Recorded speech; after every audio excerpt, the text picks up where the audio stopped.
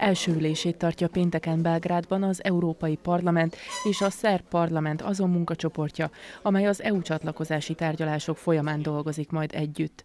Gál Kinga és Söpfény György néppárti európai parlamenti képviselők azért érkeztek Szabadkára, hogy a pénteki találkozó előtt tájékozódjanak arról, hogy mi az, ami a magyar közösség számára a legfontosabb. Ezért tartottam nagyon fontosnak, hogy itt a Magyar Nemzeti Tanács képviselőivel, a VMS képviselőivel le tudjunk ülni, és meghallgassuk, hogy ők mit lá, hogy látják, melyek azok a kérdések, amelyeket szerintük föl kell vetni. Azokról a kérdésekről tárgyaltak, amelyek a vajdasági magyar közösség számára fontosak, hogy ezeket megfelelően mutassák be a belgrádi tárgyalásokon, tette hozzá Gál Kinga.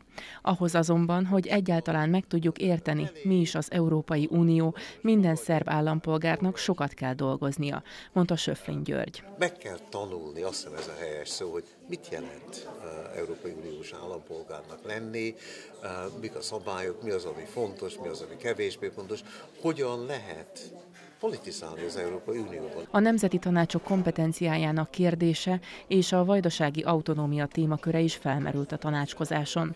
Az pedig, hogy Szerbia az EU részévé váljon, mind a vajdasági magyar közösségnek, mind a magyar nemzetnek nagyon fontos. Hiszen azzal, hogy az unió részévé válik egy ország, az ott élő közösség gyakorlatilag egy másik dimenzióba kerül.